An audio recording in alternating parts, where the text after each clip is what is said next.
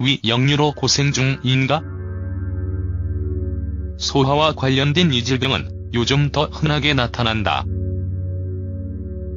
위와 식도에 타는 듯한 느낌도 들고 불편하기도 하다. 보통 무언가를 먹거나 마셨을 때 이런 증상이 생긴다. 위 역류가 있는데 그 사실을 알지 못하고 있을 수도 있다. 이 글에서는 그 특징과 자연 치료법을 설명해 보려고 한다. 위 역류가 있다는 것이 무슨 말일까? 위 역류를 이해하기 위해서는 위 역류라는 단어의 의미를 생각해 보면 된다. 역류는 돌아가다라는 뜻이다. 건강할 때에는 음식을 먹으면 소화가 시작되고 근육과 산으로 인해 진행된다.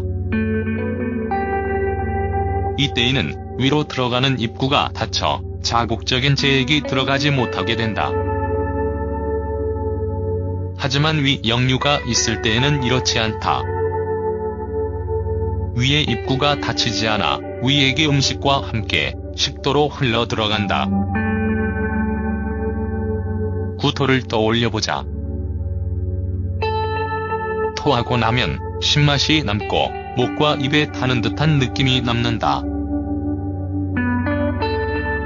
음식이 위과 함께 다시 올라와서 이런 현상이 나타나는 것이다. 다시 역류로 돌아가서 일주일이나 한 달 사이에 위 역류를 여러 번 경험하는 것을 위식도 역류 질환이라고 부른다. 위식도 역류 질환의 원인은 무엇일까? 식사 후 이런 증상이 나타나는 원인.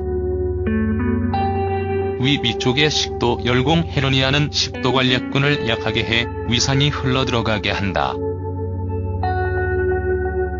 아스피린이나 항콜린제, 고혈압약, 도파민, 기관지 확장제 같은 약을 먹은 것. 이런 약들은 위와 식도에 미치는 영향이 다 다르다. 식사 시간에 식사하지 않거나 과식하는 것처럼 나쁜 식습관이나 맵고 자극적인 음식을 먹는 것, 가공식품이나 패스트푸드를 먹는 것. 임신 많은 여성들이 임신 중에 이 질환을 경험한다. 아이가 자라면서 위를 눌러 식도 관략근이 더 쉽게 열리게 된다. 하지만 출산 후에도 이런 증상이 계속되는지 잘 관찰해 보아야 한다. 과체중 임신 중일 때와 비슷하다. 소화되지 않은 음식과 복부 지방이 평소보다 더 압력을 가하게 되어 음식이 식도로 다시 올라간다. 스트레스와 긴장, 불안, 경제적 문제, 압력. 이런 요인들은 위를 긴장하고 비규칙적으로 만든다. 위식도 역류 질환의 일반적인 증상. 복장뼈에 통증이 있거나 타는 듯한 느낌이 듦. 역류. 삼키는 것이 어려워짐. 비심 인성 흉통. 트림. 식사 후 무거움을 느끼는 것. 메스꺼움. 딸꾹질. 목에 불편함이 생기는 것.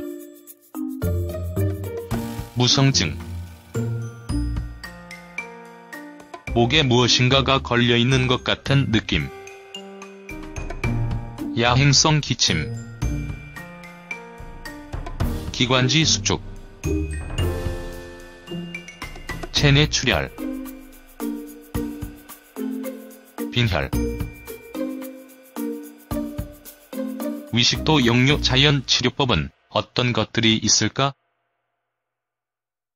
건강한 식습관을 유지하는 것이 제일 중요하다. 이런 음식은 먹지 말아야 한다. 커피, 탄산 음료, 초콜릿 토마토 소스. 술. 식초. 동물성 지방. 조미료를 많이 사용한 음식. 머스타트 후추. 고추 우유 및 다른 유제품. 위 역류를 예방하거나 증상을 완화시키기 위해서는 이런 노력이 필요하다. 식사 후에는 운동하지 않기. 식사 후에는 바로 눕지 않기. 식사 후에는 구부리지 않기.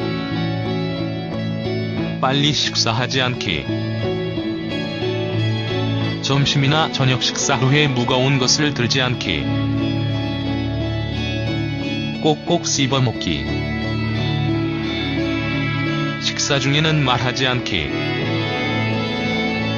화가 났을 때에는 음식을 먹지 않기. 식사할 때 탄산 음료나 설탕이 많이 들어간 주스 마시지 않기. 담배 피지 않기 저녁 식사는 일찍 하기. 벨트를 하지 않고 복부 쪽이 조이는 옷을 입지 않기. 건강한 다이어트 식단 따르기. 요가나 명상하기. 위산 역류에 좋은 음식. 아마 자잘하는 음식은 많이 접해봤을 것이다. 반면 좋은 음식은 이런 것들이 있다. 신선한 샐러드. 천연 주스. 식물성 우유. 프로바이오틱스. 꿀 견과류.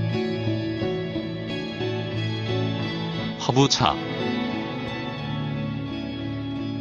카르다몬 생강. 물. 바질. 위식도 역류 질환의 자연 치료제. 아마 어떤 음식이 좋고 어떤 음식이 나쁜지 이해했으리라 생각된다.